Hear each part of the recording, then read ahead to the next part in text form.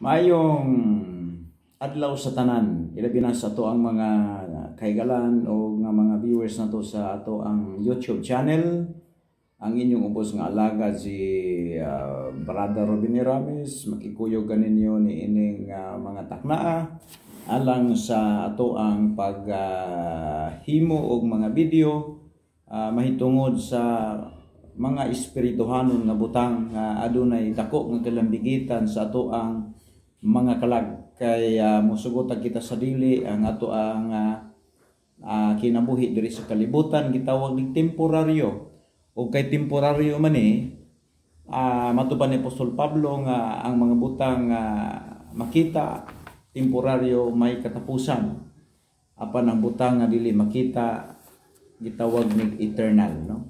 So maninginungdan nga ato agid kanunay nga gitagaag tako nga luna ang mga butang nga mga espirituhanon mga higala tungod kay nasayo ta nga uh, unya kung wa na ta diri uh, naatay gitawag og uh, lugar nga makahatag ka nato og dugang nga kalipay no? Kung gimat pa ni Apostol Pablo sa ikaduhang Korinto kapitulo 4 bersikulo 18 Ingon si Paul, kay wala kami nagtanaw sa mga butang nga makita, kundili sa mga butang nga dili makita, kay ang mga butang nga makita dili mulong tadudugay.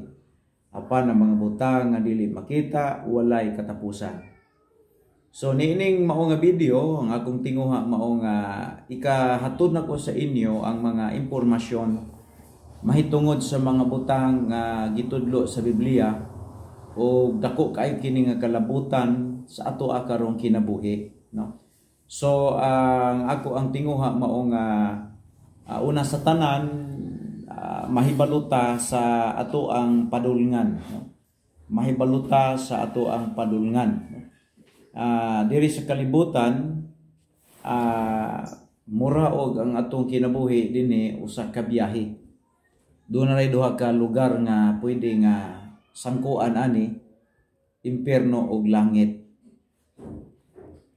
O nga kung wala na kadinhi ni nga lawas so ang atong kalag uh, duna ni usa ka lugar nga pwede nilang niyang atuan o nga kini nga mao nga lugar excuse me kini nga mao nga lugar ah uh, ikaw ang mupili karon nga panahon no?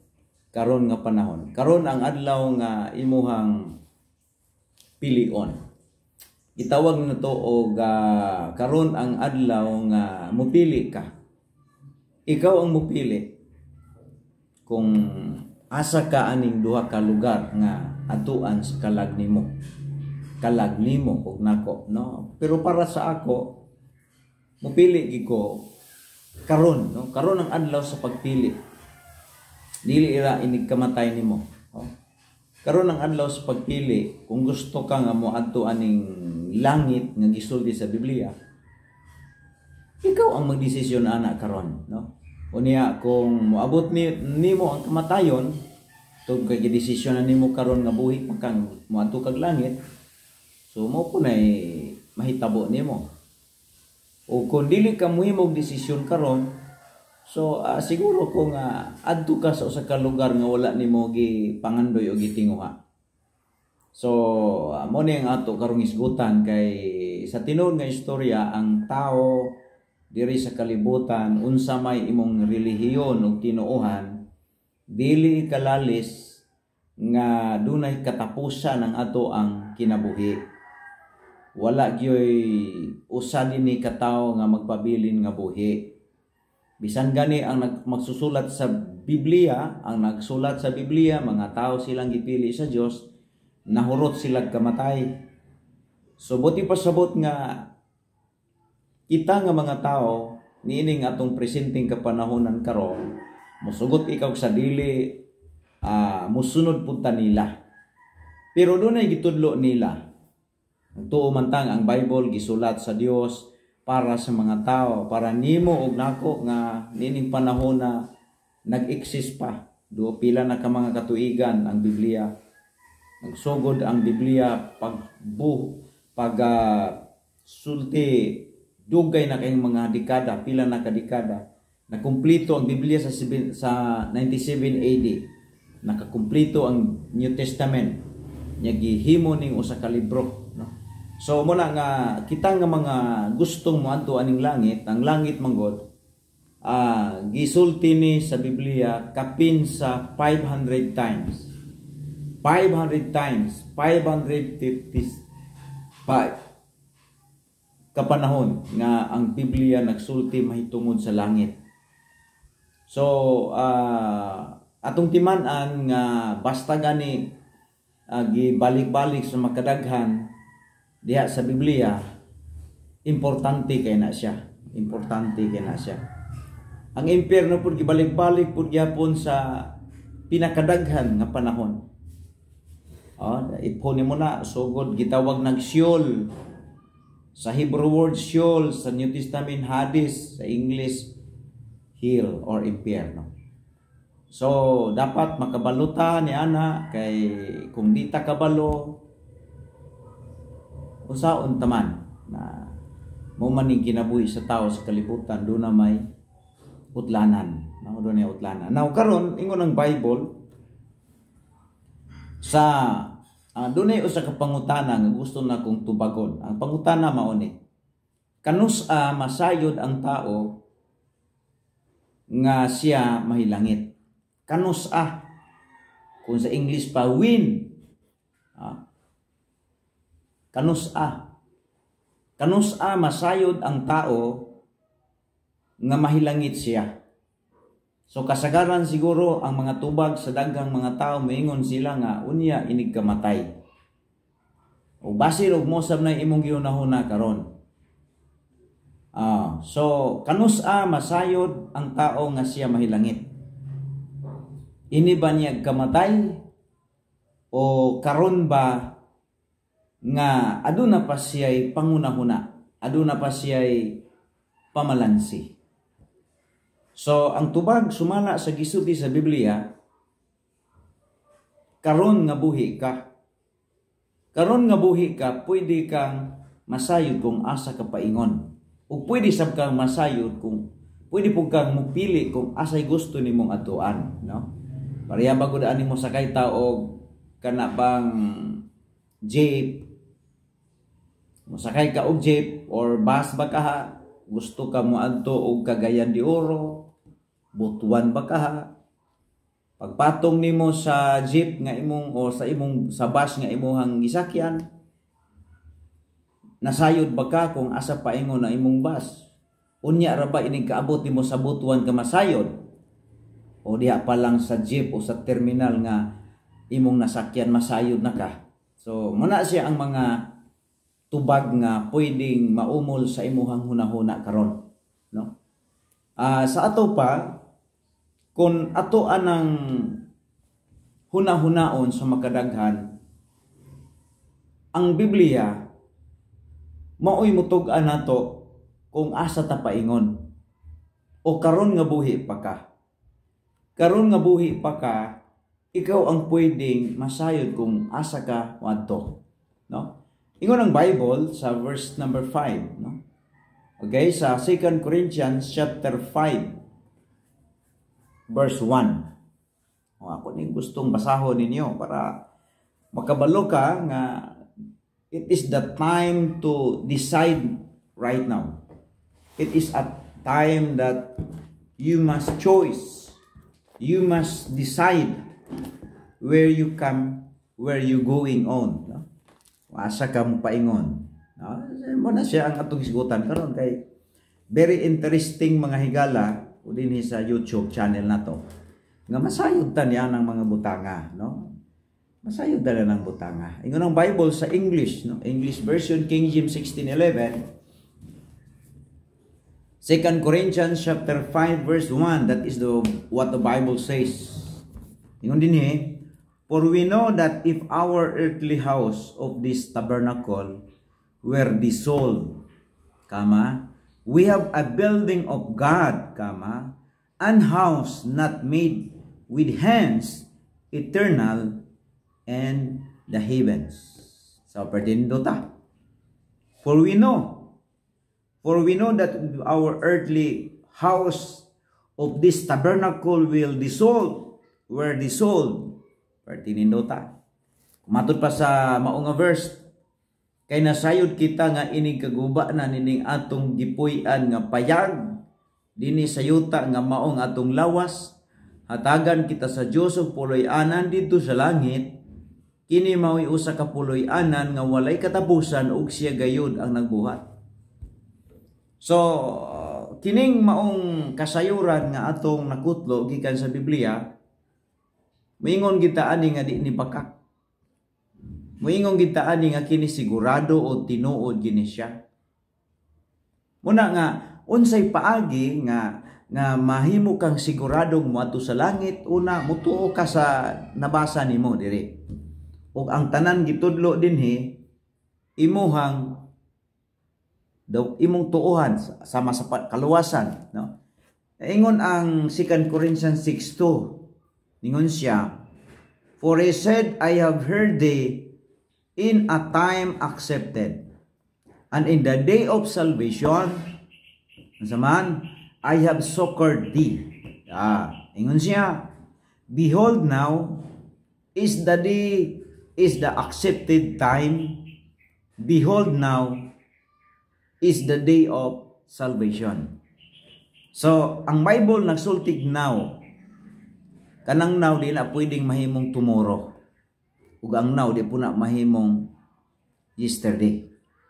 Mayingon tag now that is present. Karon nga buhi pa ka. Now is the day of salvation. Through Christ. Si Christ ang namatay sa cross o gusto sa Dios nga nining taknaa ikaw mudawat sa pagkamanuluwas ni Kristo. O sa diha nga ikaw mudawat ni Kristo nga siya ang nagpakamatay sa cross, giduphan niya ang imong sala dito sa Kalbaryo, imo siyang dawaton nga imong personal nga manuluwas. Gisulti sa Bible nga you are accepted, you are uh, gitawag you are accepted, you are saved. That is the day of salvation. Karon ang adlaw sa pagdawat sa kaluoy sa Dios. Karon ang paghimo og desisyon. Dawata si Jesus imong manuluwas sulod sa imong kinabuhi. Ug ang Biblia nagasulti nga you are God saved. No?